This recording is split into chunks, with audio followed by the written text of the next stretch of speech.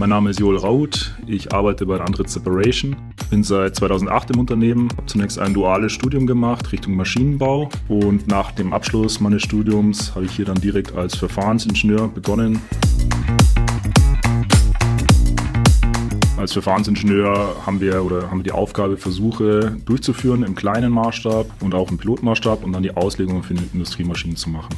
Besonders Spaß macht mir bei meinem Beruf die Abwechslung. Zum einen der, der praktische Teil, die Arbeit mit den Maschinen, im Ausgleich dazu die Bürotätigkeit, entweder hier in der Firma oder von zu Hause. Neben dem Beruf ist es mir wichtig, einen Ausgleich zu haben. Hier ist insbesondere der Sport für mich sehr, sehr wichtig, um abschalten zu können, sich genauso wie im Berufsleben zu konzentrieren, zu fokussieren, die, die Route zu planen, um die Herausforderung dann erfolgreich abzuschließen und letztendlich dann seinen Weg zu finden, genauso wie im Berufsleben auch.